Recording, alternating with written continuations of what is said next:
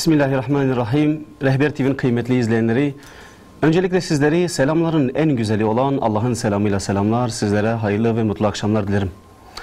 Kıymetli izleyenler, sizler de takdir edersiniz ki son dönemde özellikle Türkiye İstatistik Kurumu'nun açıklamış olduğu enflasyon oranlarını konuşacağız.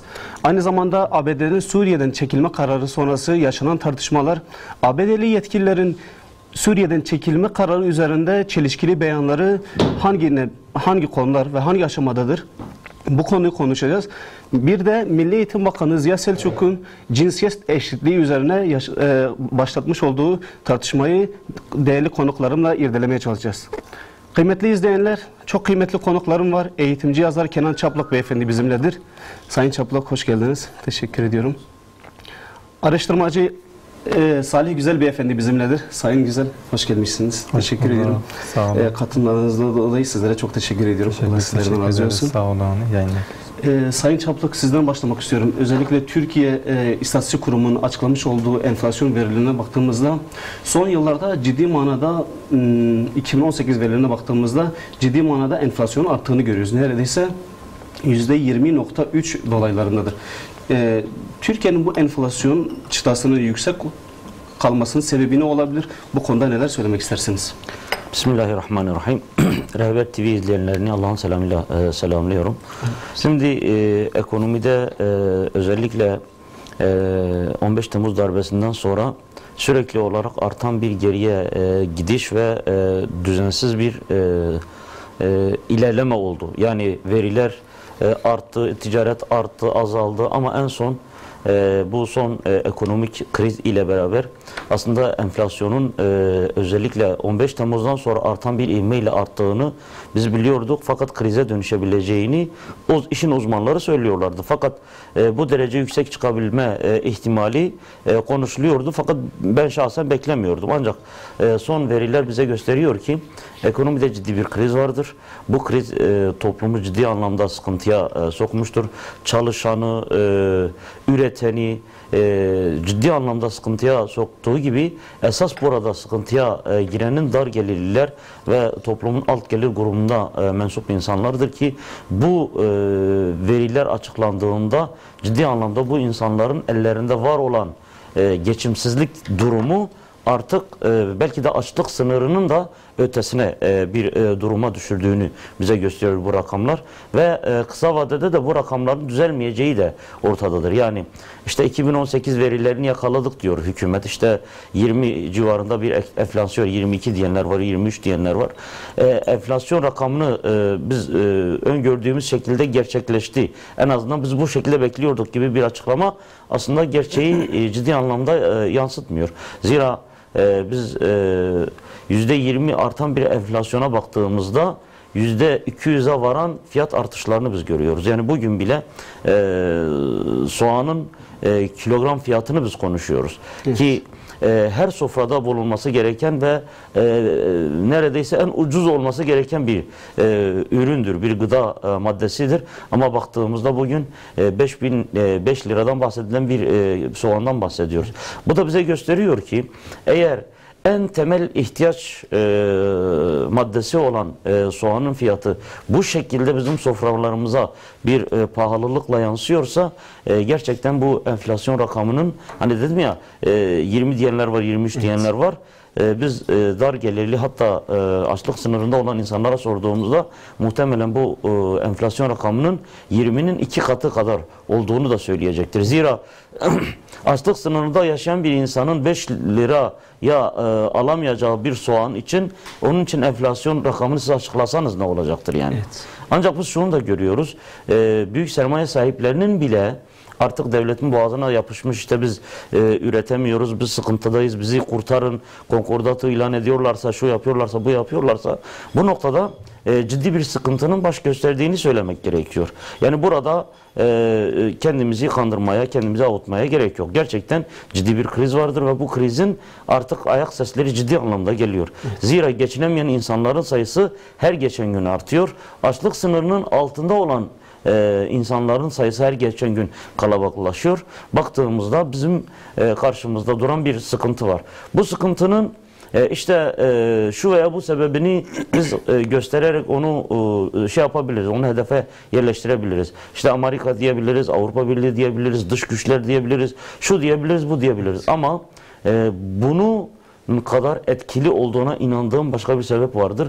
Devletin içerisindeki ısrafın, devletin içerisindeki e, efendime söyleyeyim e, görünmez bir şekilde, önlenemez bir şekilde ısrafın başına aldığını, alıp gittiğini de biz görüyoruz.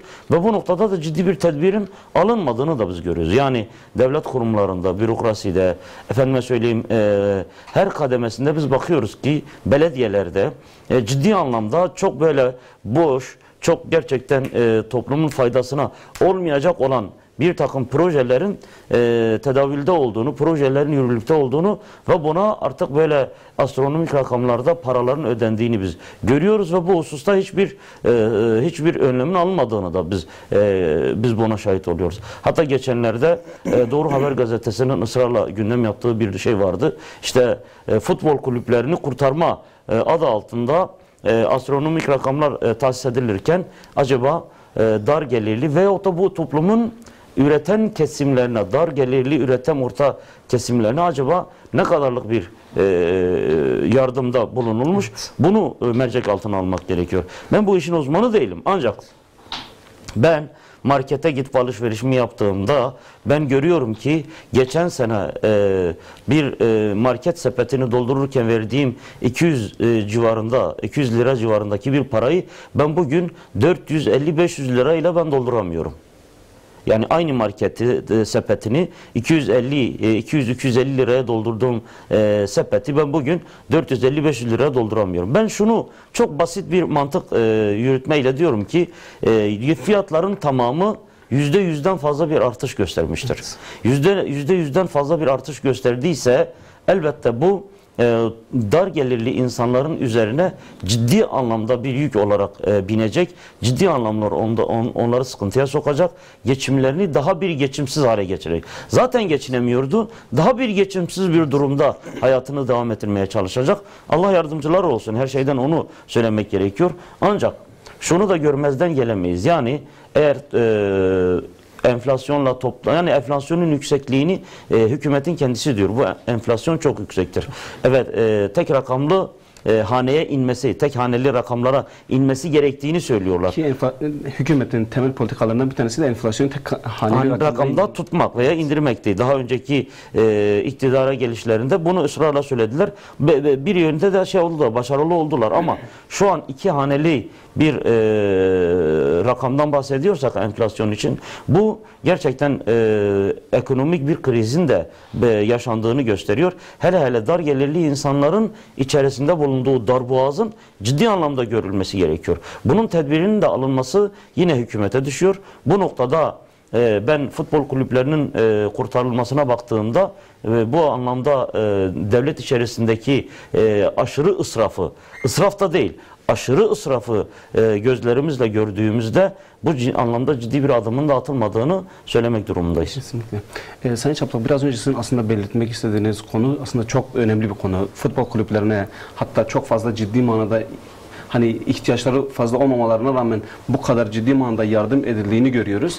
Ancak halka, vatandaşlara indiğimizde bu yardımların vatandaşlara, halka yansımadığını görüyoruz. Bu konuda da ciddi manada bir eksiklik, bir, bir sıkıntı olduğunu görüyoruz. Hatta Vatandaşlarımızdan bir kısmı şöyle diyor. Daha önce e, bir ürünü örnek olarak diyelim ki 50 yıl birike birike bir ürünün fiyatı 5 lira oldu ama son 2018'in son 5 ayında o 5 lira olan ürünün fiyatı şu an 10 lira oldu. Evet.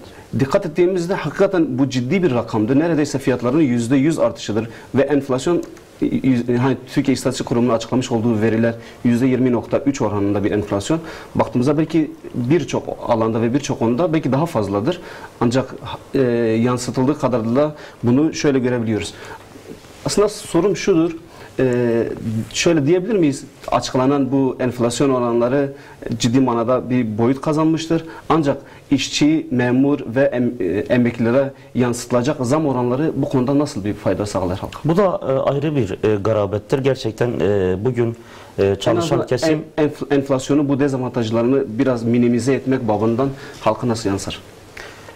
E, şimdi e, şunu görmek gerekiyor. Yani bugün e, düzenli vergisini verenler memurlardır, iş çalışanlardır. Yani çünkü devletin elindedir. Daha devlet bunların maaşını ellerine vermezden önce kağıt üzerinde onlardan ciddi anlamda bir e, para kesmektedir. Mesela bugün bir öğretmenden kesilen vergi miktarı bir e, ay için brüt üzerinden hesaplandığında e, 1500 lira ile 1700 lira arasında bir öğretmenden maaş e, e, vergi alınıyor.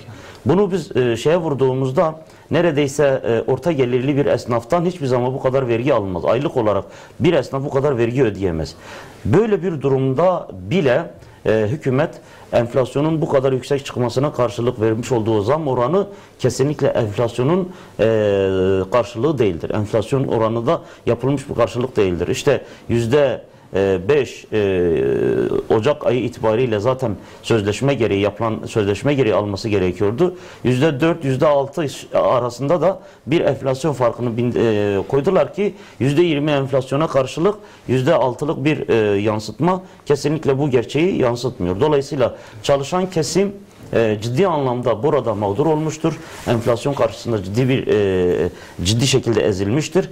Bununla beraber asgari ücretli ve e, hiçbir ücreti olmayan yani asgari ücretin de altında bugün e, gerçekten e, kayıt dışı ekonomide e, kayıt dışı diye tabir edilen e, bölümde çalıştırılan yani bin liranın altında bile çalıştırılan insanları biz biliyoruz. Gerçekten bunlar basına yansıdığı için söylüyoruz ve bu insanlar aile geçindiriyor. Bu insanlar kira ödüyor. Bu insanlar çocuğunu okula gönderiyor. Bunu görmek gerekiyor. Yani e, çalışan kesimin enflasyon karşısında ezdirildiği zaten vakadır. Biz bunu da artık bir yere kadar diyoruz ki tamam e, yüzde altı bile olsa bir iyileştirme verildi ama enflasyonun e, kendilerini hiç görmediği veyahut da enflasyonun altında gözlerini açamayan e, belki de geçimsizlik derdinde olan yani nasıl diyelim yani böyle e, bin liranın altında bile e, ücretler e, alıp aile geçinen insanların söz konusu olduğu bir e, kayıt dışı ekonomide Bunlar açlık sınırı Evet, bile bile çok çok açlık altında. sınırının altında bile yaşayan insanlar olduğunda biz artık bunu yani standartını konuşmayı bir yerde gerek görmüyor, gör görmüyoruz. Çünkü sosyal adaletin olması gerekiyor. Bir toplumda sosyal adalet yoksa bir toplumda insanların e, gelirden eşit bir şekilde e, pay alamıyorlarsa faydalanamıyorlarsa burada bir e, zulüm vardır demektir. E, bunun önüne geçebilmenin şartı da gerçekten aile geçindiren her bir ferdin, insan olan her bir e, şahsın, bireyin ihtiyacı oranında bir e, hak sahibi olarak onu şey etmek lazım. Onu e, bir anlamda hakkını iade etmek lazım, hakkını vermek lazım. E, burada çalışan kesimlere verilmediği gibi ekonominin en alt e, seviyesinde bulunan veyahut da hiçbir zaman ekonomiden faydalanmamış yani bu noktada ciddi anlamda hayat payası, refahı elde edememiş e, kişilerin de görülmesi çok daha e, yerinde olacaktır diye düşünüyorum. Kesinlikle. Ee, Sayın Güzel, özellikle baktığımızda hükümet ve hükümet yetkilileri şöyle bir şey diyorlar. Özellikle enflasyonla mücadele adı altında büyük firmalara, işletmelere enflasyonla mücadele adı altında belli bir konuda hani destek olmaları için indirime gidilmesi konusunda tavsiyelerde bulunuyor. Ancak baktığımızda elektrik, su, doğalgazda da artış olduğunu görüyoruz. Acaba sizce de bu bir çelişki değil midir? Yani hükümet bunu kendi vatandaşlarına isterken kendisi tam tersini yaptığı, yaptığını görüyoruz. Bismillahirrahmanirrahim. Öncelikle değerli izleyicilerimizi Allah'ın selamıyla selamlıyorum.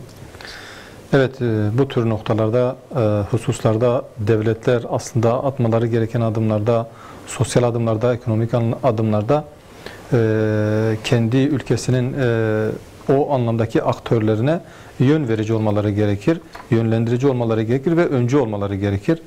Yalnız bu noktada ekonomik boyutla değerlendirdiğimizde e, bugün ortaya çıkan e, tabloda ülkenin gerçekliğine uygun bir e, gözlemle e, değerlendirdiğimizde herkesin malumudur. Reel enflasyon bugün %50'nin üzerindedir. 2018 yılı için söyleyelim. Yalnız bugün kalemlere, ekranlara yaslayıp resmi rakamlara yansıyan 20.30'dur. E, 20.3'tür. E, Bu yönüyle de e, baktığımızda sahanın gerçekliğin- gerçekliğinden e, halkın, vatandaşın cebindeki yansımasının iki mislinden çok daha düşük bir oran var.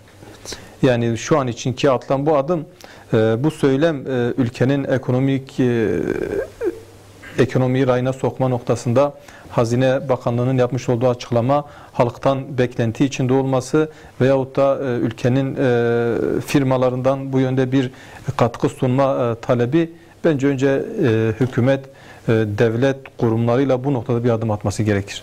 Birincisi bu yönüyle atılan gerçek enflasyonu görerek, re, reel enflasyonu görerek vatandaşın cebine yansıyan kısmı iyi tanımlaması gerekiyor. Onun duygularına empati kurarak kendini onun yerine koyabilmelidir. Şu an devlet e, attığı adımlarla ekonomiye rahatlatma adına atmış olduğu adımlarda e, orta tabaka dediğimiz veyahut da halkın genelini temsil eden kesim noktasında empati kurarak kendini o konumda görmüyor. Acaba bu hayat standartlarında ben geçimimi nasıl sağlayabilirim ve bu geçimimi sağlarken toplumumu, milletimi, devletime nasıl fayda sağlayabilirim ki bir anlayış ruhuna maalesef toplum birey kendini getiremiyor. Getirememesinin nedeni de maalesef bu noktada kendisine reva görülen bugünkü işte açıklanan memurlara zam oranı işte geçen e, haftalarda asgari ücretliye tanınan mesela %25'in üzerinde bir zam olarak belirlendi ama bununla bakıyoruz aynısı devlet bu gerçekliği tüm kesimlerde görmüyor. Veyahut da aynı zamlar belirlenirken aynı oranlar belirlenirken devlet e, devleti yöneten milletvekilleri kendi zamları, kendi maaşlarına gelecek oran üzerinden değerlendirirken bunu kendi hayat standartlarıyla bir tutmuyor. E, Bu aradaki çıtanın e, genişliği maalesef hem toplumla devlet arasındaki çıtayı genişletiyor hem devleti yönetenlerin toplumu anlayabilme yetisini de köreltiyor. Ve e, bundan dolayı sloganik bazı söylem ve ifadelerle e, toplumu yönetme anlayışı ve bakış açısı kazandırılıyor. Ve şu anki bu yönüyle ekonomik anlamdaki bakış açısı maalesef toplumun gerçekliğinden çok uzak. Yani reel durum, gerçek durum ekonominin e, halkın, vatandaşın cebine yansıyan durumuyla e, sahadaki yansıması veyahut onların ücretlerine yansıma yansıyan kısmıyla e, esnafta alışverişteki e, onun cebine yansıyan kısmı arasında müthiş bir fark var. Ve bu bu böyle olunca ister istemez hükümetin bu noktada destek çağrıları karşılıksız kalıyor. Veyahut da e, sloganik bir anlamda kalıyor. İşte Çünkü bu adımı kendisi yapması Evet çünkü bu anlamda ilk adımı kendisi atması gerekiyor. Ne yapacak? Örneğin e, bakanların maaşlarında revize edilerek fedakarlık yapılarak bu, bu, bu nokta bir adım atılabilir. Biz ücretlerimizi düşürüyoruz. Milletvekilleri aynı şekilde meclisteki milletvekilleri bu şekilde. En üst temsili makamdaki bürokrasiyi aynı şekilde bir örneklik teşkil ederek çünkü bunun anlaşılabilmesi için bir empa- empati ruhunun gelişmesi gerekiyor yönetimle halk arasında. Maalesef bu noktada bir kopukluk olduğundan dolayı yapılan bu söylemler kağıt üstünde reklamlarda e, veyahut da e, medyaya yansıyan kısmıyla hükümete destek verdiği an e, açıklamanın ötesine geçmiyor. Halka yansımıyor.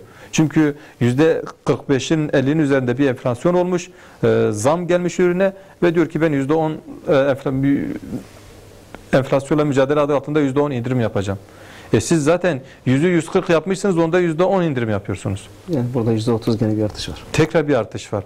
Yani bu bu noktada hükümetin hükümeti yönetenlerin e, şu an için devlet kademesindekilerin bunun bir belirgin ve bariz bir şekilde bunu halka, halka deklare etmesi, halkı buna ikna etmesi gerekiyor. Bu nedir? Kendilerinden bir feragat yaparak. Ve bu enflasyonun önüne geçebilmek, halka, vatandaşa, orta tabakaya, alt tabakaya yansıyan kısmının önüne geçebilmek için de devletin kamu kaynaklarındaki israfın önüne geçmesi gerekiyor. Yani bugün e, biz bu enflasyon rakamlarını yaşarken bakıyorsunuz e, devlet kurumlarında, devletin kamu kaynaklarında e, israf noktasında ciddi e, olaylar var. Yani bu noktada israfın e, peşine önüne geçilemiyor. Yani tüm kamu kaynaklarında.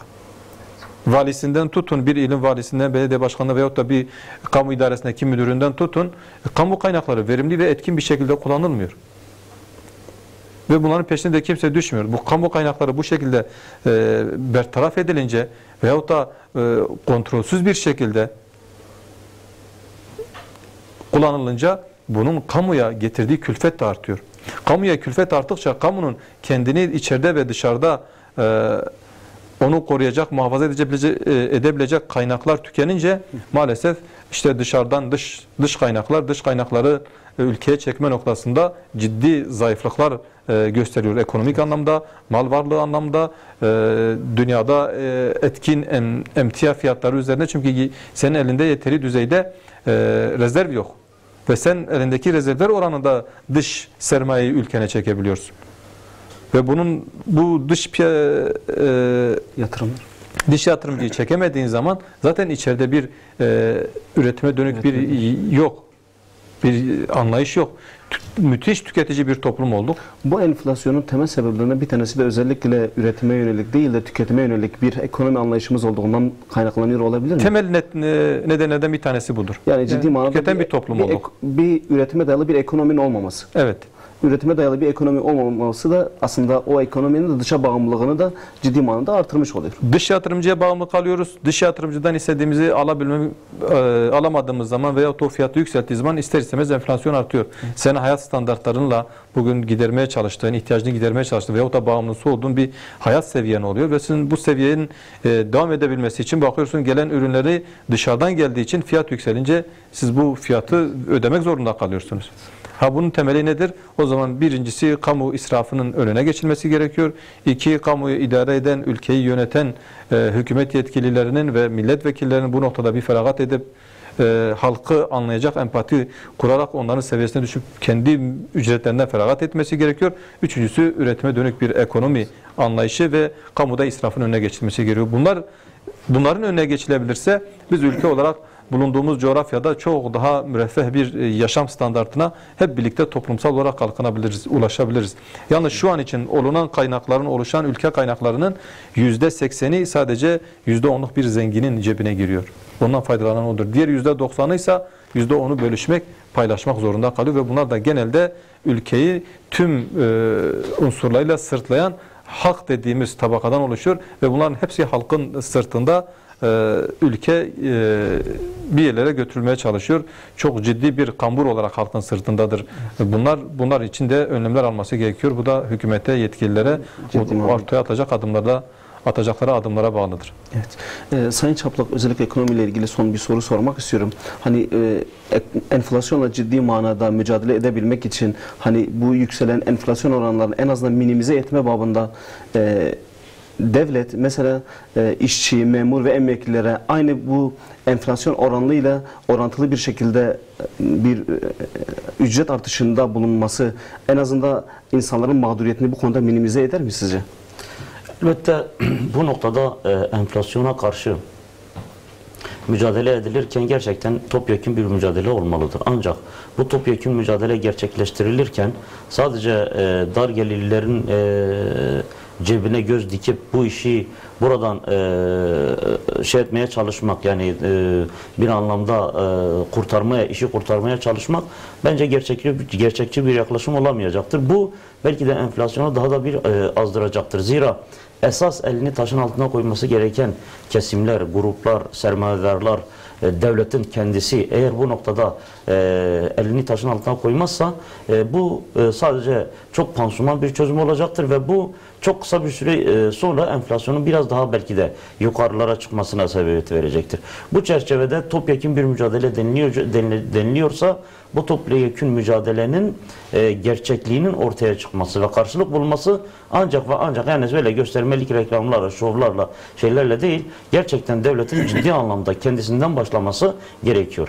Biz bugün devletin içerisinde, belediyelerde, efendime söyleyeyim gördüğümüz bu e, aşırı ısraf ve e, bu noktadaki e, yani e, artık kesinlikle neşter atılması gereken bu sorunun hala görmezden gelinmesi. Sadece kağıt üzerinde işte e, bu noktada tasarruf tedbirleri uygulanmaktadır e, şeklinde bazı e, durumlara gidilmesi. Öbür taraftan e, spor kulüplerinin e, kurtarılarak e, açlık sınırındaki insanların görülmemesi bu noktada topyekun bir mücadeleden uzak uzak kalındığını ben şahsen o şekilde görüyorum. Ancak e, bunun e, ciddi anlamda karşılık bulması yani enflasyonla mücadele e, çerçevesinde e, enflasyonun aşağıya çekilebilmesi ve bu noktada e, bir iradenin ortaya konulabilmesi ancak ve ancak e, üretime dayalı bir ekonominin yeniden hayata geçirilmesi, yeniden hayata geçirilecek bu ekonominin ayakta kalabilmesi için de dar gelirlilerin ve orta gelirli insanların ciddi anlamda gözetilmesi, haklarının korunması, daha fazla ezdirilmemesi gerekiyor. Bu çerçevede de yine sermayelerine sermaye katacak olan sermayedarların da önü açılmamalıdır. Gerçekten bugün bir e, memurdan eğer aylık 1500-2000 civarında siz bir e, vergi alıp bu hususta siz onu e, zapt rapt altına alıyor ve öbür taraftan da işte e, ekonomi bunlarla yürüyor diye sermayedarların vergi aflarına e, kalkışıyorsanız burada enflasyonla mücadele adı altında attığınız bu adamın adımın gerçekte bir karşılığı olmayacaktır. Kesinlikle. Aslında enflasyon mücadele dediğimizde devletin bu konuda ciddi manada bir ön ayak olması gerektiğini düşünüyorum. Yani eğer devlet bu konuda hani vatandaşlarına bir şey istemeden önce o şeyi ilk önce kendisinin yapması gerekir ki ondan sonra bunu vatandaşlarından istesin. Yani aslında vatandaşların enflasyonla mücadele ile yapmış oldukları şey çok sınırlı bir miktarda sınırlı sayıdadır. Ancak devlet topyekun olarak bunu yaptığı zaman daha kalıcı, daha güzel, daha da olumlu bir adım atmış olacaktır. Sayın Güzel, özellikle ABD konusuna biraz değinmek istiyorum. ABD Başkanı e, Trump'ın biz ABD'den, biz Suriye'den çekiliyoruz demecinden sonra baktığımızda ABD'li yetkililer bu konuda çelişkili söylemlerde bulunmaya başladılar. Hani e, ABD Başkanı Trump dedi ki biz işte DAEŞ'i yendik, onun kökünü kuruttuk, işimiz kalmadı sürede ve biz Suriye'den çekiliyoruz. Ancak bazı yetkililer şöyle bir şey söylemeye başladılar. Biz he- hemen birlik tamamıyla çıkmayacağız. Biz DAEŞ'le e, savaşa savaşa yavaş yavaş çıkacağız. Yani onun kökünü tamamıyla kurutan, kuruduktan sonra çıkacağız. ABD'nin bu çifte standartını baktığımızda, çelişkili beyanlarına baktığımızda siz bu konuda neler söylemek istersiniz? ABD bu konuda hakikaten samimi midir, güvenilir midir?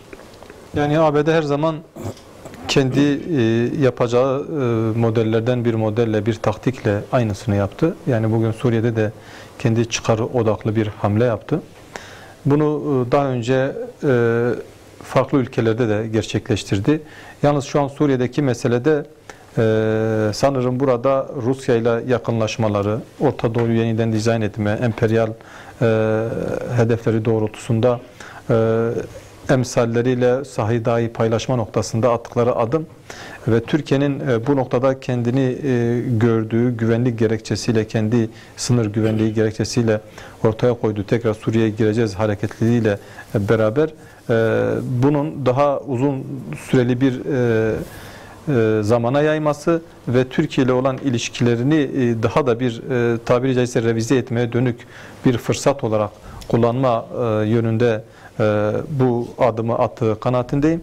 Yalnız Suriye'den, Suriye'nin içinden zaten gelirken de DAEŞ'i oluşturma veyahut da o, o noktadaki bir e, endişeyle kendisi gelmemişti. Yani bu, bu coğrafyayı kendine, bu coğrafyanın kaynaklarını, bu coğrafyanın şekillenmesini kendine sanki bir görev biçmiş ve bunun temelinde birincisi kendi çıkarları, ikincisi İsrail'in güvenliği boyutuyladır. Yani bugün Suriye'de Suriye'ye gelip Suriye'de Amerika'nın burada e, karargahlar kurmasının temelinde veyahut da oradaki e, unsurları beslemesi, silah yönünden, teçhizat yönünden, e, askeri eğitim noktasında gerekli desteği vermesinin temelinde e, oluşturacak Orta Doğu'da e, Orta Doğu'da İsrail'in güvenliğini dönü, güvenliğine dönük adımlardır. Birincisi kendi çıkarı, ikincisi İsrail'in güvenliğidir. Yani bu yönüyle zaten 7 yılı aşkındır Suriye'de ortaya çıkan tablo, e, yaşanan mağduriyetler, oluşan sosyal travma, 700 e, binin üzerinde insanın ölmesi, 10 milyonun üzerinde insanın mülteci konumuna düşmesi, kendi memleketinden çıkması ve orasını kontrol edilebilir, belki de daha da küçük lokmalara ayırabilir miyim? E, bunu daha iyi kontrol edebileceğim üzerlerinde farklı unsurlardan e, ülke bütünlüğünü parçalayacak ve ülke bütünlüğü bu oluşacak yeni fotoğrafla oluşabilecek yeni e, sınırlar e, üzerinden, e, yönetimler üzerinden e, kontrolü daha iyi kendi elimde tutabilir miyim hesabını yapıyor. Ya Amerika'nın temel e, Strateji. stratejisi e, Orta Doğu'da kendi dışındaki ülkelerde bu. Yani ben acaba buranın kaynaklarını kendime daha rahat bir şekilde kendi ülkeme nasıl getirebilirim? Ben nasıl daha iyi sömürebilirim? Ben orada insanlar çalışacak ben onu nasıl da alabilirim?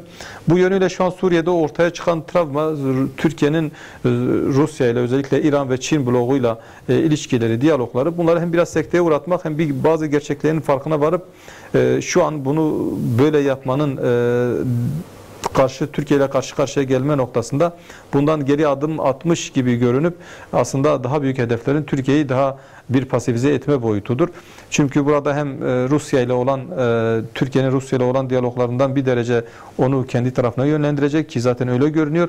Ama bakıyorsunuz e, en üstten ifadelerle Trump'ın ifadeleriyle onun alt kademesindeki danışmanların veyahut da bakanların ifadeleri birbiriyle çelişir durumda ve aslında bu çelişkiler bir nevi karşısındaki muhatabı e, gelgitlerle veyahut da şüphe sokacak veyahut da onu e, pasifize edebilecek hamleler boyutuyladır. E, Türkiye'de acaba burada e, Suriye ile Suriye meselesinde ABD'ye mi yakı, yakınlaşacak yoksa e, işte bugün e, Esad gitmesi gerekir diyen bir anlayıştan geldik. Nereye geldik? Evet. Esad'la masaya oturulabilir bir e, seviyeye geldik dış politikamızda. Bu da aslında dış politikamızın e, 7 yıl öncesiyle baktığımız e, noktayla bu 7 yıl sonra baktığımız nokta arasında ne kadar çelişkili bir dış politika izlediğimizi ve hangi seviyeden hangi konuma geldiğimizi çok açık net bir şekilde ifade ediyor. Aslında e, dış politika stratejilerinin ülke adına, e, Türkiye adına değerlendirilirken e, insanın durduğu noktayla varmak istediği noktayı iyi ölçmesi gerektiğini, savrulmaması gerektiği kanaatindeyiz. İşte bugün emperyalistlerin endişeleriyle, onların etkileriyle Suriye meselesine bakarken 7 yıl önce bakıyorsunuz yine tekrar bu farklı emperyalistler Adı Rusya'da olsa, Çin'de olsa bunlar da emperyalistler. Türkiye bakıyorsunuz bu arada ülke, e, bölge ülkeleri bu bir seviyeden farklı bir seviye, bir anlayıştan farklı bir anlayışa savrulabiliyor, e, dönebiliyor ve bunu da yeri geldiğinde de artık geriye dönüp baktığımızda ne kadar farklı bir e, noktada olduğumuzu daha iyi net e, görebiliyoruz. Ha bunun gerekçesinde de e, dış politikalarımızın yularımızı dış emperyalistlerin emelleriyle veyahut da bugün olayları değerlendirirken gelişen gelişmeleri değerlendirirken yönetime danışmanlık yapan kişilerin burada emperyalist fikirlerle olaya bakmalarıdır. Temelinde bu var. Eğer bugün e, bu strateji belirleyen kişiler bu stratejiye ön ayak olanlar, yön verenler, danışmanlık yapanlar e, emperyalist zihniyetle o bakış açısıyla olayı değerlendirmeselerdi e, inanıyorum ki bugün Suriye'deki durum da bu böyle olmayacaktı. Bizim dış siyasetimizdeki bu savurganlığımız da olmayacaktı.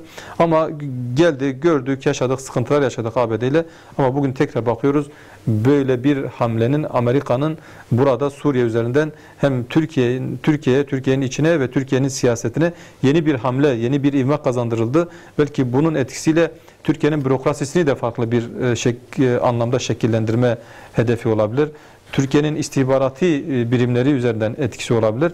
Yani bu attığı adımla aslında e, karşı karşıya gelmiş olduğu Türkiye ile bir nevi prestijini tekrar yenileme bir hamlesi olarak görüyorum ve samimiyetten uzak samimiyetten uzak bir e, travma. Sadece şu an için çıkar meselesine baktı. Nereden daha fazla kazanabiliriz? Nasıl durursak, nasıl konumlanırsak bizim bu coğrafyada, İslam coğrafyasında İslam ülkelerinin e, topraklarının üzerindeki yönetimlerden ülke olarak, ABD olarak nasıl daha far, yani faydalanabiliriz ve bunun da e, temel diğer ikinci bir gerekçesi de İsrail'in güvenliğini daha doğru, daha uzun vadeli nasıl sağlayabilirizin e, endişesi ve hamlesi olarak görüyorum bu geri adımı. Sayın Güzel şöyle bir şey de sormak istiyorum. ABD'nin bu karar almasında Türkiye'nin Fırat Kalkanı, Zeytin Dalı Harekatı'nın bir etkisi olabilir mi bu konuda? Yani bunlar karşılıklı olarak birbirine e, karşı atılan stratejik adımlardır. Tabii yani bunun e, elbette bir e, karşılığı var. Elbette bunun bir yani anlamı var. Türkiye'nin çok mana, ciddi manada yani, dik durduğunu görüyoruz. Aslında dik durmadan ziyade şunu görelim. Türkiye'nin de böyle bir hamleye girişme gerekçesini benim e, kanaatimce e, tavır ve söylem olarak, pratik olarak Rusya ile Tür, e, Amerika'nın yakınlaşmasıyla oldu. Bunu bu yakınlaşmayı görürken e, olabilecek bir durumda ikisinin birbiriyle e, destekleyici e, adımlar atması Suriye meselesinde Hı. Türkiye için güvenlik sınırının güvenliği noktasında ciddi bir hamle olabilirdi. Türkiye bunu görünce bu hamleyi yapma ihtiyacı ve bunu dillendirmesi gerektiğini anladı ve bu yönde bir adım attı Bunu bu adımı atınca ABD bunun farkına varıldığını gördü. Biraz daha yakınlaşma farklı. Yani atılan her adımın kendince e, veyahut da sahadaki aktörler tarafından farklı bir herkesin kendine göre bir mesaj alma boyutu var. Ee, ABD de bu noktada şayet bu yakınlaşmanın e, hissedildiğini gördü ve bunun üstünü örtmek adına bir geri adım attığı kanaatindeyim yani. Sayın Çaplık, ABD'nin bu kararı almasında hani Suriye'den çekiliyoruz demesinden sonra e, acaba kendi yerine aynı düşüncede, aynı emperyalist düşüncede başka bir ülkeyi mi oraya sokmayı, sokmayı düşünüyor yoksa bu bir vekalet savaşı mıdır diyebilir miyiz? Yani kendisi gibi böyle emperyalist bir gücü oraya koyması, koyması düşünülebilir mi? Elbette e, ABD'nin e, orada e, bulunması zaten e, daha önce yürütülen vekalet savaşına direkt müdahale etme amacını taşıyordu. Burada e, gelen heyetin e, direkt Türkiye'ye değil de İsrail'e uğrayıp orada bir açıklama yapıp Türkiye'ye gelmesi zaten bize e, aslında e, meramın ilamıdır. Yani orada söylenmek istenen şey, verilmek istenen mesaj net olarak söyleniyor. Yani e, aslında ABD kısa vadede e, Suriye'den çekilecek değil, uzun vadede de çekilecek değil. Ben şahsen e, tabloya baktığımda resmin tamamını görüp İsrail ile olan durumunu e, gözlemlediğimde bende oluşan kanaat e, şudur. ABD e, oradan çekilmeyecek. E, ABD çekilmeyeceği için de e, şu anki yapılan e, manevralar, söylenen sözler aslında e, gelecek e, adımın e, ayak sesleridir. Yani daha etkili bir ayak, daha etkili bir adım atılma noktasında farklı e, hazırlıklar yapılıyor kanaatindeyim. Çünkü e, İsrail orada e, var olduğu sürece, İsrail bir çıban başı olarak e, İslam ümmetinin içerisinde yer edindiği sürece Amerika'nın Suriye benzeri vakaları e, alevlendirip e, e, kaosu büyütmeye yönelik politikaları sürekli gündemde tutacaktır ve bu politikaları e, besleyip büyütecektir. Bunu kesinlikle bu duruma aldanmamak gerekiyor. Ben şahsen olaya öyle bakıyorum. Dolayısıyla Buna, özür dileyerek buna Irak örneğini verebilir miyiz? Hani e, ABD Irak'a girdi, Irak'ı örnek Irak'ta kaldı. verebiliriz. Daha önce Afganistan, Afganistan örnek örnek verebiliriz. verebiliriz. Yani şu an Am- Amerika Yani sözde çıkmış olduğu hiçbir ülkeyi- yıllardır çekileceğini söylüyor. Çekildim, çekileceğim. Aslında çekilirken belki de şunu görmek gerekiyor. Yani orada bir süredir duran askerlerini götürecek yerine yeni askerler gelecek. Evet. Yani e, çekilme o şekilde de belki de Sadece isimleri değişir. Yani değişen bir şey olmayacak. Fakat şunu ben özellikle vurgulamak istiyorum. Yani e, Amerikan heyetinin e, İsrail'de yapmış olduğu açıklama bize net olarak gösteriyor ki e, kısa vadede Amerika Suriye'den kesinlikle çekilmeyecektir. Uzun vadede çekilip çekilmeyeceğini e, yerine belki de bırakacağı e, taşerona veyahut da yerinde kendi politikasını onun kadar veyahut da onundan daha etkili yürütebilecek birilerini bulup devrederse belki isme çekilecektir. Yoksa Amerika'nın bugün e, orada bugün Amerika'nın işte e, Suudi Arabistan'da e, bir şeyi yoktur. Diyelim ki bir işgali yoktur. E, üstleriyle vesaire. Ama Amerikan politikaları bugün birebir uygulanıyor mu? Uygulanıyor. E, bu noktada Amerika'nın ben Suudi'den e, herhangi bir işlemim yoktur, herhangi bir şeyim yoktur demesinin bir anlamı var mıdır? Hayır. Yoktur. E, bugün e, Suriye'de de Amerika'nın aslında e, inşa etmeye çalışmış olduğu politika tamamen oranın istikrarsızlığı üzerinedir. Bu istikrarsızlık bir yönüyle Türkiye'yi de istikrarsızlaştırmaya bağlıdır. Bir yönüyle Irak'ı, bir yönüyle Ürdün'ü ve bütün bir bölgeyi aslında istikrarsız bir şekilde kontrolüne e, kontrolünü almasıdır. Bugün Türkiye'nin güney sınırlarının tamamının istikrarsız bir şekilde bir savaş e, cephesi gibi e, bekletilmesi Türkiye'yi sürekli olarak tedirgin edecektir. Ediyor. Ki biraz önce sizin söylemiş olduğunuz işte Zeytin Dalı Hareketi, ondan önce e, Elbap opera- e, operasyonu vesaire biz baktığımızda e, bu bize neyi gösteriyor? Aslında e, Amerika kısa vadede de, orta vadede de, uzun vadede de Türkiye'yi başıboş bırakmayacak, rahat bırakmayacak, e, sürekli olarak oy- oyalayacaktır. Bununla beraber binlerce tır silahdan bahsediliyor. Resmi rakamlar bunu söylüyor. E, makamlar bunu söylüyor. E, bu binlerce tır silahın herhalde e, çölde kuma gömüldüğünü kimse iddia edemez. Ama bunların gün gelir şu veya bu şekilde bir yerde kullanılması da e, Amerika e, isteyecektir. Peki bu e, tedbirler alınmadan yani bunların nereye gittiği, kimlerin elinde olduğu, nasıl e, saklandığı veya nasıl kullanılacağı şeklindeki sorulara tam olarak cevap verilmeden gerçekten Amerika ben çekiliyorum dese bile bizim buna inanmamız gerekiyor mu? Elbette gerekmiyor. Tabi biraz önce söylediğiniz kendi yerine başka birilerini bırakır mı diye. Elbette kendine bağlı ve bağımlı birilerini istemediğiniz bırakırsa- kadar yerli ve yabancı taşeronlar vardır. Yani Fransa o rolü bürünmek istiyor ki Fransa'nın e, Birinci Dünya Savaşı'ndan beri işgal altında tuttuğu yani e, Suriye'yi fiili olarak işgal ettiği daha sonra da bu sefer kültürel olarak işgalinde tutmaya devam ettiği bir coğrafyadır. Biz bunu biliyoruz. Yani Suriye'nin bizim işte e, Urfa, Antep oralardaki işgalini de bizim unutmamamız lazım. Baktığımızda Bugün Suriye'nin e, zaten içerisinde fiili olarak koalisyona bağlı birçok yabancı güç vardır. Bunların isimlerinin Fransız, Alman, İngiliz olması fark etmiyor. Neticede bu insanların yani bu e, güçlerin e, yürütmeye çalıştığı savaş şudur. E, istikrarsız bir Suriye, bölünmüş bir Suriye ve hiçbir zaman ayağa kalkamayacak bir Suriye üzerinde bir e, proje inşa edilmeye çalışılıyor. Yani inşa değil de tahrip edilmeye çalışılıyor. Belki ifadeyi o şekilde kullanmak lazım.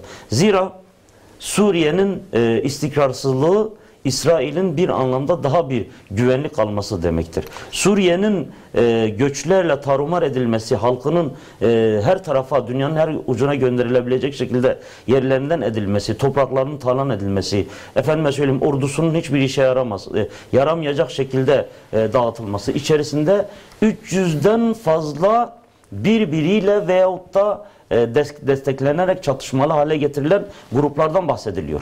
300'den fazla silahlı grubun birbiriyle ve e, karşılıklı olarak e, çatıştıkları bir ortamda Amerika gerçekten çekilse ne olur, çekilmese ne olur? Yani bugün bile Amerika gerçekten bizim inanacağımız şekilde Suriye'den çekilirse Suriye 10 yıla kadar sadece bu 300 tane grubu tasfiye edemeyecektir.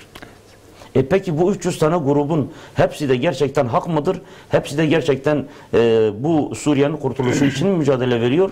Ben şahsen şüpheliyim. Hani oradaki gerçekliği görüp ona göre konuşmak da lazım. Yani burada oturup rahat bir şekilde ahkam kesmek değildir bizim amacımız.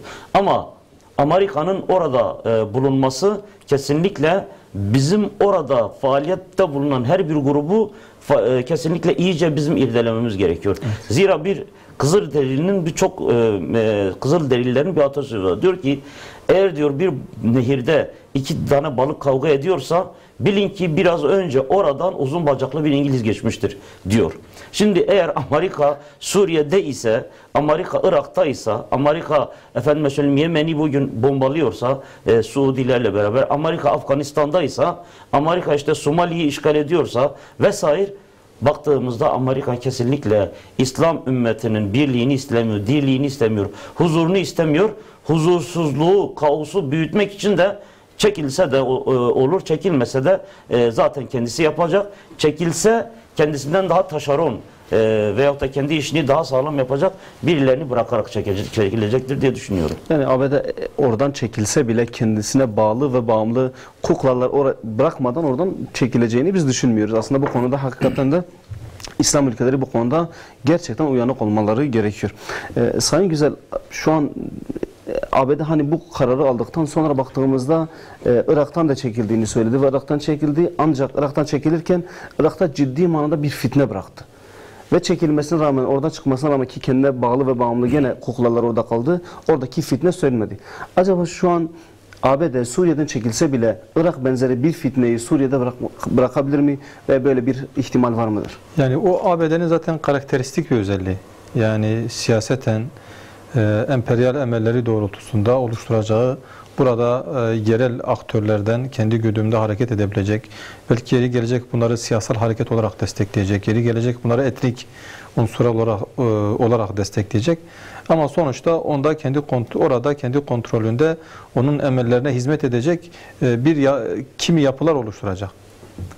Ee, Önemli olan halkın bunun farkında olması. Ee, Başta Suriye halkının bunun farkında olması. Yani bunun farkında olup Amerika'nın bu emellerine hizmet edecek kesimlerle ve odaklarının etrafında toplanmamalar. Yani bunun artık ismi ne olursa olsun, bunun rengi ne olursa olsun, bunun dili ne olursa olsun. Yani ABD giderken oradan e, yarın öbür gün Suriye'de oluşabilecek yeni yönetimlerde veyahut e, bölgesel yönetimlerde ki e, öngörülen sanki şu an yavaş yavaş gün yüzüne çıkan işte bugün Irak mesela benzeri bir yapının, bir çerçevenin Suriye için de uyarlanması. Özellikle Kürtler üzerinden. E bu olduğu zaman e, bunların, bu yapıların, bu bölgesel yönetimlerin e, ABD'yi e, kurtarıcı bir rol kendisine biçerek onun kontrolünde hareket etmeleri, onun emelleri doğrultusunda adım atmaları ki şu ana kadar öyle yaptılar. Onun sonucunda bakıyorsun sonra diyorlar bizi ortada bıraktı diyorlar. Çünkü Amerika'nın stratejisini, Amerika'nın emellerinin ne olduğunu insanlar, toplumlar, bölge yöneticileri bilmediği zaman sanki Amerika çok iyi bir insancıl veyahut da insani bir himaye şekliyle geliyor ve yardımcı olmak istiyor. Aslında e, Amerika'nın e, insanlık boyutu yoktur. Amerika'nın çıkarı vardır. Çıkarı olduğu sürece kimi yerlerde, kimi bölgelerde bulunur. E, bir yerlere e, tabiri, yani tabiri caizse gaz gelecek yerden tavuk esirgemiyor. Yani Suriye'deki gruplara hangi grup olursa olsun eğer ABD'den silah almışsalar bunu bilmeleri gerekir ki ABD orada kendilerine kendilerini sevdiği için kendilerini korumaları için onlara silah vermemiştir. Yeri geldiğinde o silahın hesabını kendilerinden soracak. Farklı bir şekilde soracak. Yönetime geldikleri zaman veyahut da kültürel olarak yetişecek nesillerini kendi hegemonyasına almak adına, onların değerleriyle büyütüp ona modern bir köle yapmak adına Amerika o toplumlardan, o yönetimlerden bir şeyler isteyecek. Ha bu bu yönüyle e, baktığımızda bugün Suriye'de o ortaya çıkacak şekil Irak'tan çok farklı olmayacak. Şayet Amerika emellerine e, ulaşma noktasında et, ülke, komşu ülkeler, Suriye'nin komşu ülkeleri bu şekilde davranırsa. Ama davranmadıkları takdirde e, Suriye'nin komşu ülkeleri özellikle İslam ülkeleri Türkiye, İran, Suudi Arabistan, Ürdün, e, Mısır bu noktada inisiyatifi ellerine alsalar kendi özel bölgeleri Müslümanların İslam coğrafyasının bir meselesi olarak olaya bakma liyakatini gösterebilseler mesele Amerika'nın hesapları o zaman alt üst olur. Eğer biz bunu gerçekleştirebilirsek, İslam ülkeleri olarak bunu bu noktada bunu e, bir araya gelerek farklılıklarımıza rağmen bir araya gelebilirsek ve iç sorunumuzu bu meseleyi Suriye meselesini Suriye'nin şu an Irak çok daha şey bir durumda değil. Çok farklı bir durumda değil. Bugün her gün orada da e, farklı mahallelerde, semt pazarlarında, camilerde bombalar patlatılıyor. Evet. Yani bu zihniyeti aşılayan, bu yönüyle e, halkı birbirine kırdatacak o taraftaki fitne tohumlarını eken Amerika ve Amerika hizmet eden anlayışlardır. İsmi ne olursa olsun. Yani Müslümanları birbirine kırdırtacak e, emellere hizmet eden kim olursa olsun bu bu sonuçta Amerika'nın hanesine, Amerika'nın emellerine bir derece daha Amerika'yı toplumsal olarak, yönetimsel olarak yaklaştırıyor. Bunun için e, bölge ülkelerinin, İslam ülkelerinin e, bu noktada bir araya gelmesi gerekiyor. Kendilerinin, kendimizin ve toplumumuzun bir sonraki nesillere e, 30 yıl sonrasında ABD'nin hesaplarını bozmak adına, ABD'nin bölgedeki e, e, bu terörize edici adımların önüne geçebilmek adına bir araya gelip ortak bir karar almaları gerekiyor ve toplumumuzun geleceğini e, bizim güvence altına alma noktasında bir adım atmamız gerekiyor. Kesinlikle. Ee, aslında hakikaten biraz önce sizin yapmış olduğunuz açıklama çok da yerinde bir açıklamaydı. ABD'nin bu kararına ciddi manada böyle e, şeye bakmak lazım yani temkinli bakmak lazım. Çünkü AB'nin hakikaten stratejisine baktığımız zaman, politikalarına baktığımız zaman güvenilmeyen bir devlet olduğunu her konuda ve her platformda dile getiriyor. Kıymetli izleyenler kısa bir araya gireceğiz. Kısa bir aradan sonra tekrar birlikte olacağız. Kıymetli izleyenler, eğitimci yazar Kenan Çaplık ve araştırmacı Salih Güzel'le kaldığımız yerden devam ediyoruz. Ee, bu bölümde de e, Sayın e, Eğitim Bakanı Ziya Selçuk Bey'in e, açıklamış olduğu toplumsal e, cinsiyet eşitliği üzerine başlayan tartışmaları konuşacağız. Aslında baktığımız zaman toplumsal cinsiyet e, eşitliği nedir? Bu konu üzerinde birçok tartışma vardır. Bu konuyu kıymetli konuklarımla irdelemeye çalışacağız. Sayın Çaplık, e, Eğitim Bakanı'nın açıklamış olduğu toplumsal cinsiyet e, eşitliği üzerinde bir tartışma başladı. Bu konuda bize neler söylemek istersiniz? Böyle nasıl anlamamız gerekiyor bu konuyu? Şimdi e, Milli Eğitim Bakanlığı 2014 yılında EDCEP diye bir e, proje Evet. başlattı. Bu proje Avrupa Birliği'nin aslında bir dayatmasıydı. Yani kısa yoldan düz kestirme söyleyelim. Avrupa Birliği'nin bir day- dayatmasıydı. Avrupa Birliği'nin bir dayatması olan bu e, projede e, İngilizlerin e, British Consul dediğimiz e, biriminde hazırlanmış ve Avrupa Birliği'nde e, kabul görmüş. Bu e, çerçevede Türkiye'ye de e, ihraç edilmeye çalışılan bir e, projeydi. Tabi Avrupa Birliği e, kapsamında ev ödevli ev ödevleri olan Türkiye o dönemde e, pilot bölge olarak, pilot e, çalışma olarak daha bölge demeyelim de pilot çalışma olarak okullarda bazı eğitimler verildi. İşte öğretmenlere, rehberlik se- servisinde çalışan öğretmenlere, e, bazen işte toplu konferanslar şeklinde e, cinsiyet eşitliği adı altında bazı e, çalışmalar yapılmaya çalışıldı. Tabii şu an o projenin e, Milli Eğitim Bakanlığı böyle bir proje kaldırıldı şeklinde ifadeleri söz konusuyken bu işin uzmanları aslında o proje süresi bitti ama kaldırılma e, gibi bir durum söz konusu değil diye e, ifadeleri söz konusu oldu. Baktığımızda aslında e, fıtrata aykırı bir e, düşüncenin burada e, hakim kılınmaya çalışıldığını söylüyor. Şimdi perde gerisini görmek gerekiyor. Yani bizim burada esas itibariyle aslında kuklacılara e, uzanmamak, yani onlara odaklanmamak lazım. Esas e, kuklayı değil, kuklacıları bizim görmemiz gerekiyor. E, kuklacı kuklalara oynattığı şeyleri e, biz e, şu an e, konuşuyoruz. Yani Türkiye'de et cep aslında bir e, kukla e, durumudur. Esas kuklacıyı görmek lazım ki British konsuldür. Onu gerçekten görmek gerekiyor. Şimdi mesele şudur. Benim gördüğüm, anladığım, resme bakarak e, benim anladığım şudur. Avrupa'da insanlar arasında e, fıtrat kavramı aslında ortadan kaldırılmıştır. Bugün kilise Avrupalı toplumların tamamında o fıtratın çoktan elden kaçmış durumuna ahvahlarla aslında ağıt yakıyor. Bu sefer e, İslami bir toplum olan Türkiye'nin ve Türkiye'deki e, e, hala mevcut olan e, aslında e, az da olsa elle tutulabilir bazı değerler kalmıştır. Bu değerlerden bir tanesi de aslında e, toplumumuzda var olan gelenek yapımızdır. E, örf adetlerimizdir. Onları da besleyen aslında inancımızdır. İnancımızın e, erkeğe yüklemiş olduğu sorumluluk ile kadına yüklemiş olduğu sorumluluk bellidir, sınırları çizilmiştir ve bu hususta aslında bizce e, bunu tartışılabilir bir tarafı da yoktur. Yani biz e, müminler olarak, Müslümanlar olarak aslında bunun tartışılabilir bir tarafı da yoktur. Zira e, erkeğin rolü bellidir, kadının rolü bellidir. Ancak bu rol Avrupa'da tamamen birbirine karışmış vaziyettedir. Karışmış olan o rolün aslında bizim içerimiz, içimizde de bir karmaşaya e, oturtulması, bir kaosa oturtulması hedefidir.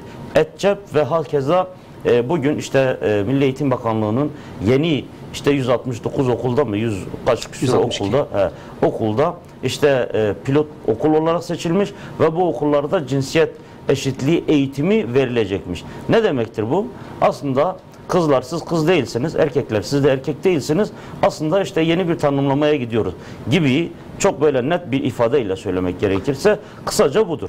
Yani burada e, kızların rolü ellerinden alınarak cin, e, şey olarak yani e, kız olma yani Allahu Teala'nın yaratmış olduğu bu fıtrata aykırı bir e, rol yükleme anlayışı. Hakeza erkeğe de yine Allahu Teala'nın yüklemiş olduğu erkek olma fıtratını kaldırarak bambaşka bir şey yükleme.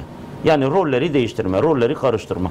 Bu noktada bu atılan bu adımın e, bizim toplumumuzun gerçekliğine, inancımızın gerçekliğine, örf adetlerimizin gerçekliğine uymayan tamamen Avrupa'nın dayatması olan bir e, proje olduğunu bizim gözden e, uzak tutmamamız gerekiyor. Ki bu çerçevede yani bunun da bir ayağı olarak İstanbul Sözleşmesi'ni sözleşmesini konuşmak gerekiyor.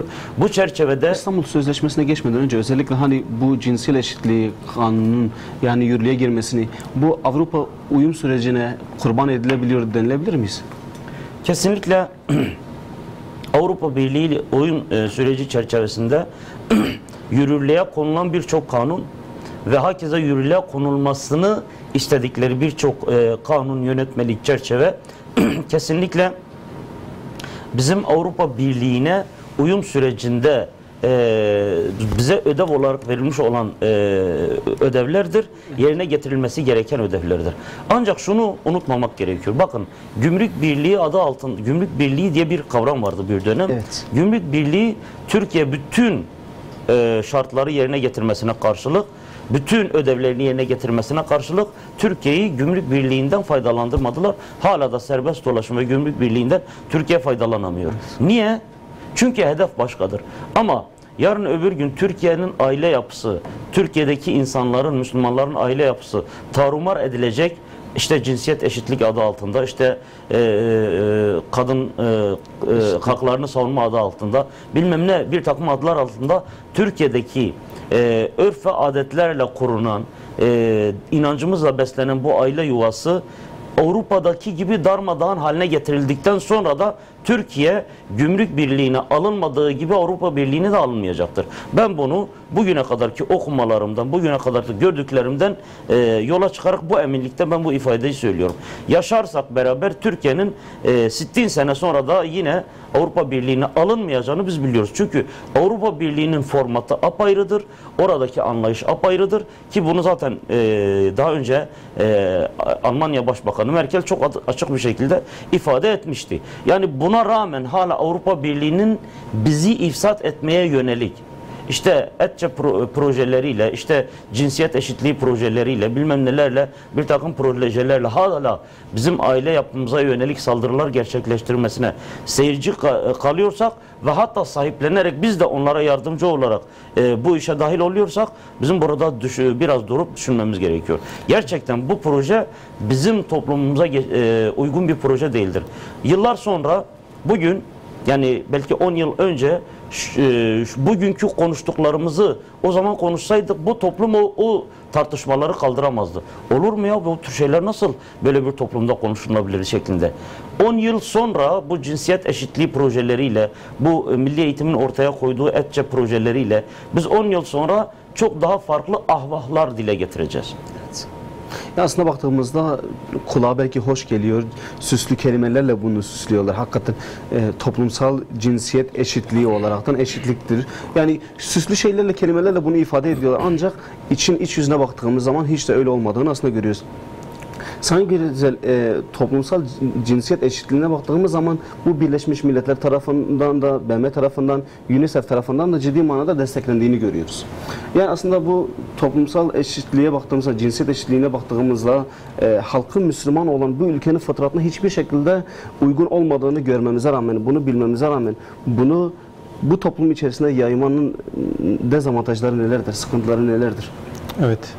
Aslında bugünkü olayı e, değerlendirdiğimiz etçe bir cinsiyet eşitliği projesini milli eğitimdeki eğitim kurumlarındaki yansımalarını konuşurken ve bu alanın temeline indiğimizde nasıl birçok boyutuyla istila edildiğimizi, çevrelendiğimizi, e, kendi gerçekliğimizden, mecramızdan, inancımızdan, kültürümüzden uzaklaştırılmak adına sadece bu cinsiyet eşitliği projesi e, sınıfları, okulları üzerinden değil.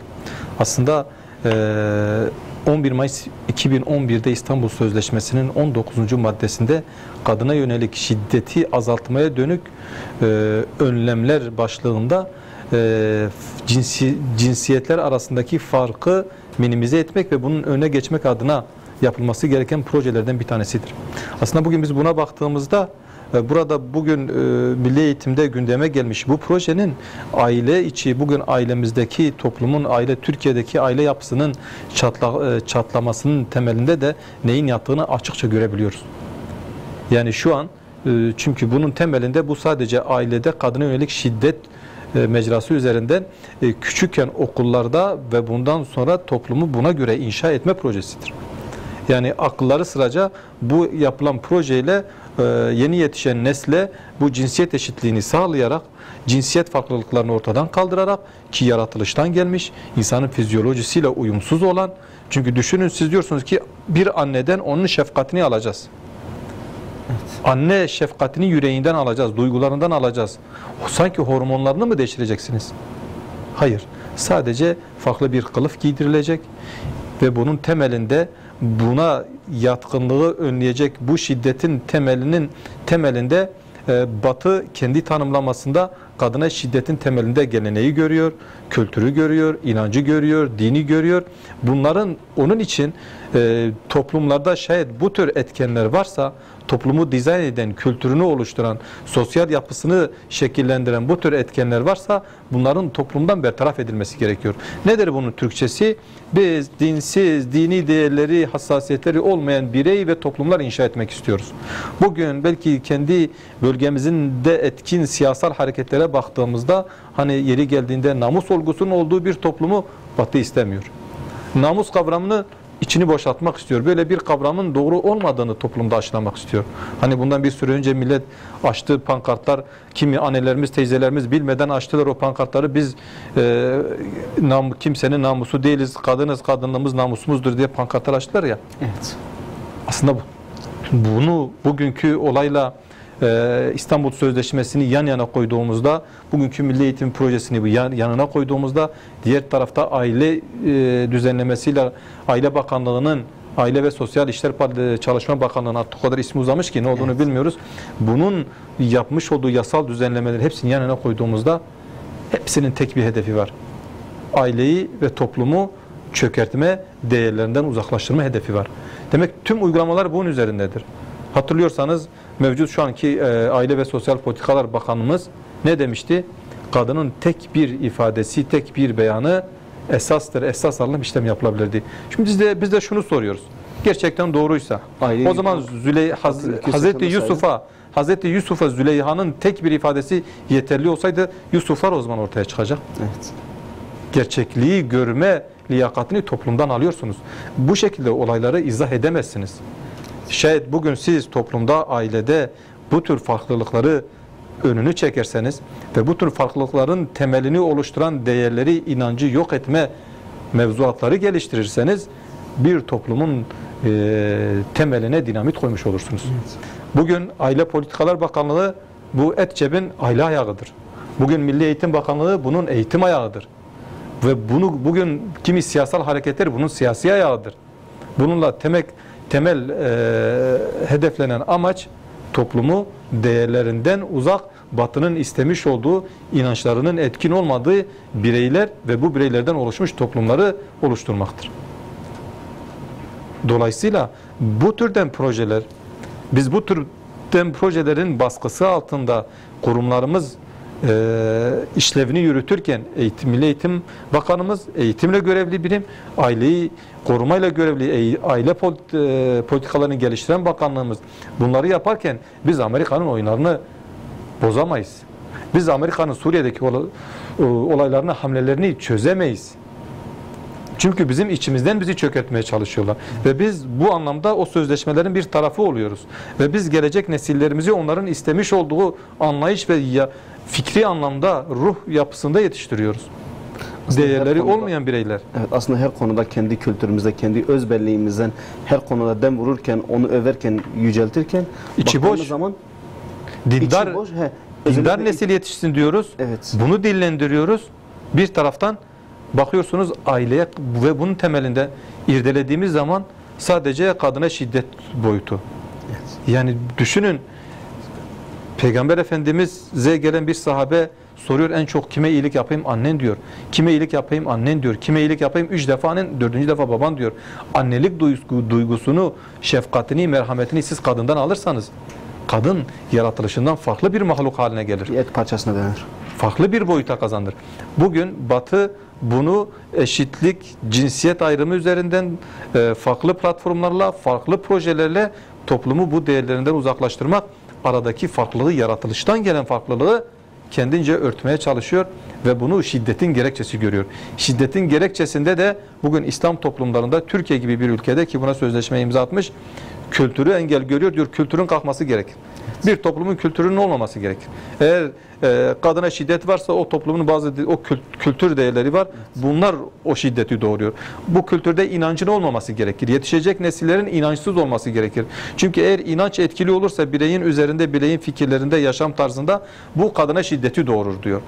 Diyor senin değerlerin olmayacak. Değeri olmayan, ilkesi olmayan bireyler yetişsin diyor.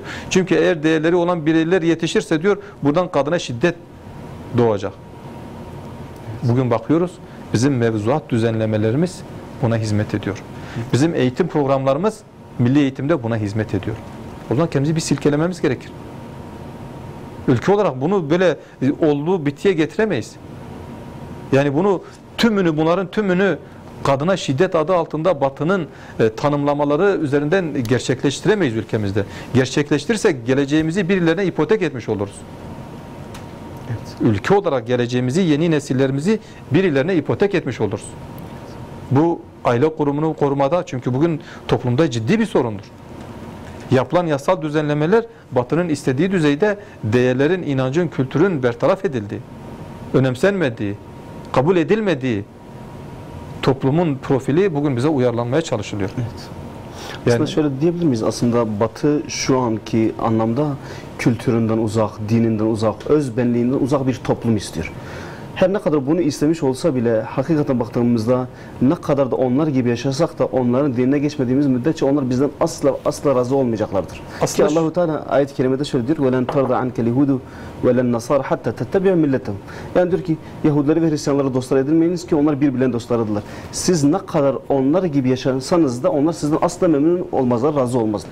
Yani onların hani o çirkin kültürlerini, hakikaten baktığımızda içi boş, içi kof olan o kültürlerini bu topluma taşımak hakikaten insani ve erdemli bir davranış olmasa gerek. Yani burada bize biçilmek istenen rol şunu görmemiz gerekir. Ülke olarak, toplum olarak, birey olarak biz modern köle haline getirilmek isteniyoruz. Evet. Düşünmeyen, değerleri olmayan, kutsalları olmayan, uğrunda mücadele edeceği, yürüyeceği kutsalı olmayan birey yetiştirmek istiyor. Bedel ödemekten uzak bireyler yetiştirmek isteniyor. İnancı uğrunda, kutsalları uğrunda. Bu ne olacak o zaman? Batı gücüyle, silahıyla girdiği yerlerde toplumlar pasif, cepheden çekilen, bunu kabullenmiş bireyler yetişecek. Ve bunu modern bir halde yapacak. Bunu kültürümüzü istila ederek, ederek yapacak. Ve biz de bugün e, eğitim kurumlarımızı bunların e, tekeline bırakırsak, bunların istediği düzenlemeleri bu aile kurumumuza taşırsak, eğitim kurumlarımıza taşırsak kusura bakmasınlar. Yani bunu ben dindar nesil istiyorum, temenni ediyorum. Yeterince İmam Hatip açtık, bu işler yapılsın. Bugün bunlarla mevzuat bunlar sıradanlaşırsa, eğitim kurumlarımıza girerse, eğitim kurumlarımıza düşünün. e, cinsiyet eşitliğinde ne olacak? En basit en basit bir örnek vereyim. İçini farklı şekilde doldurabilirler. E, okulda gidirdiğiniz af buyurun bir lavaboda kız erkek ayrımı olmayacak. En basitinden söyleyeyim. Evet. Yani böyle bir endişe taşımayacak. Birisi okul okulda gittiği lavabonun bayan mı erkek mi olduğu umurunda olmayacak. Yani bu farklılık ortadan kalkacak. Veya sen kadınsın, sen e, e, kızsın, kadınsın, sen erkeksin. Bu cinsiyet ayrımını ortadan kaldırmak, her şeyi eşit hale getirmek. İşte kadını sadece çocuk doğuran bir anlayış olarak görüyor. Çünkü batının yaşam tarzında öyledir. Ama Peygamber Efendimiz ne diyor? Cennet annelerin ayakları altındadır. Annelik vasfını kazanmamış bir birey. Çünkü anneliği e, bunlar da e, batı da kadına doğuran, çocuk doğuran bir annelik vasfıyla bakmak istemiyor. Annelik ruhuna bürünmemiş birinin çocuk duygusu, şefkati, rahmeti yoksa o cennet nasıl ayağının altına girecek? Yani tamamıyla hedef toplumun değerlerine, inancına, kültürüne e, bir savaş açılmıştır. Bunun ismi bugün kadına şiddet adı altındadır. Bunun siyasal hareketler nezdinde LGBTİ faaliyetleri bugün aynen bunun bunun bir parçasıdır. Cinsiyet ayrımı bundan önce işte İstanbul'da yürümek isteyen LGBTİ gruplarının asıl projelerinin bir parçasıdır. Bugün bu bizim Milli Eğitim Kurumuza bakanımız iş- işin başındaki en üst düzeyden dillendiriliyorsa bu büyük bir tehlikedir. Yetkililerin bunu iyi görmesi gerekir. Hükümetin, hükümetin başındakilerin, Sayın Cumhurbaşkanı'nın bunu iyi iyi analiz etmesi gerekiyor. Eğer bugün milli eğitimimiz bu türden bir kadronun elindeyse geleceğimiz, toplumun geleceği çok farklı bir durumda olacak. Yani bunu görmezlikten gelemeyiz. Şayet aile politikalarımızı biz batının bu hedefleri doğrultusunda şekillendirirsek toplumumuzun geleceğinden ümidimizi kesmemiz gerekir. Yani bunlar çok ciddi meselelerdir. Belki kimi zaman kısmen geri çekildiği, e, kısmen milli eğitim bunun böyle bir projenin olmadığını tamamlandığı yönünde ifade etti ama devleti yönetenlerin toplumun geleceği noktasında ciddi anlamda bu projeler üzerinden aile çünkü aile yapımız şu an çatır diyor. İşte bu, bu projelerin bu yasal düzenlemelerin getirisiyle oluyor. Eğer biz bunlara karşı gerekli önlemi alamazsak, yetkililerimiz, işin başındakiler bunu önemsemeseler gerçekten önümüzdeki bugün birinci sınıfta olanlar 20 yıl sonra üniversite çağında veyahut da toplumun e, yönetimini ele alacak e, yeni neslimiz maalesef bu duygular ve bunlara e, mahkum olmuş duygular. Batının bu hedeflerine inanç ve değerlerinden uzak bireyler olacaklarından dolayı ki böyle yetişecek okullarda eğer model okullar olarak bunlar oluşturulursa ve bu da toplumun e, inancı için geleceği adına ciddi tehlikelerdir yani. Evet. Ee, Sayın Çaplak, toplumsal cinsiyet eşitliğinin geliştirilmesiyle İstanbul Sözleşmesi arasında nasıl bir bağ vardı? Bu konuda sizler neler söylemek istersiniz? Şimdi e, İstanbul Sözleşmesi Avrupa Birliği uyum yasaları çerçevesinde aslında dayatılan bir e, süreçti. O süreçte ne e, işin ilginç tarafı İstanbul gibi bir yerde e, Müslüman bir ülkede böyle bir e, sözleşmeyi imzaladılar. E, hani işte Kop- Kopenhag kriterleri diye bir kriterler vardı. Onu Danimarka'da imzalattırdılar. İşte bilmem Berlin Sözleşmesi yok bilmem ne. Şimdi İstanbul Sözleşmesi'nin e, seçilmiş olmasının da yani İstanbul'un seçilmiş olmasının ve buna İstanbul Sözleşmesi denilmesinin de ben tesadüfi olmadığına inanıyorum. Kesinlikle bu e, masa başı düşün- düşünülmüş bir mühendisliktir. Bunu ben öyle değerlendiriyorum. E, ve e, baktığımızda e, bir Müslüman ülkede ailenin hedefe oturtularak bir sözleşmenin e, bir İslam e, beldesinde İstanbul gibi yıllarca, e, yüzyıllarca hatta İsla- İslam'ın başkentliğini yapmış bir yerde böyle bir işin kotarılmış olması ciddi anlamda üzerinde ana, düşünmeyi gerektiriyor. Şimdi e, şuna da dikkat çekmek gerekiyor. Yani İstanbul Sözleşmesi devam ettiği sürece e, eğer e, milli eğitimde işte bi- biz ETÇE projesini e, rafa kaldırdık demeleri veyahut da süresi bitti demeleri aslında e, bir anlam ifade etmiyor. Bu sözleşmede Türkiye taraf olduğu müddetçe Türkiye bu sözleşmenin e, uygulayıcısı olduğuna dair deklarasyona imza attığı e, imzası kaldığı sürece, sürece aslında toplumsal da toplumsal cinsiyet eşitliği adı altında veyahut da bu ad bile olmasa farklı adlar altında aslında projelerin e, gün be gün e, devreye alınacağını bizim bilmemiz gerekiyor. Bunu kesinlikle unutmamamız lazım. Ki bu hususta ETCEP programı e, kaldırıldı deniliyor Milli Eğitim tarafından. Bense sadece süresi bittiği anlamında yani o e, yıllık bir süreydi bitti. İşte bu e, 162 tane proje okulunun e, devreye alınmasıyla aslında EDCEP'in ikinci bir e, adımı basamağı gerçekleştirilmiş oluyor. İşte ileride öğretmenler e, çocuklara işte e, kıza sen kızım kızım diye hitap edemeyecek. O e, erkek çocuğa da oğlum diye hitap edemeyecek. Yani düşünün e, öğretmenlik mesleği içerisinde çok masumane bir duyguyla siz çocukları kendi çocuğunuz gibi gördüğünüz bir ortamda e, hatta onlardan daha fazla belki de değer verdiğiniz bir ortamda kızım tahtayı siler misin veya kızım siz bu soruyu bu problemi nasıl e, çözüyorsunuz diye söyleyemeyeceksiniz. Niye? Çünkü ETCEP'in ikinci ayağı bana göre devrededir. Bu İstanbul Sözleşmesi ve e, Avrupa Birliği'ne uyum yasaları çerçevesinde atılmış olan bu adım geri adım at, geri e, imza çekilmediği müddetçe bence bunun peşi sıra gelecektir. Çünkü bu sözleşme gereği ev ödevleri 1, 2, 3, 4 maddeler halinde sıralanmış.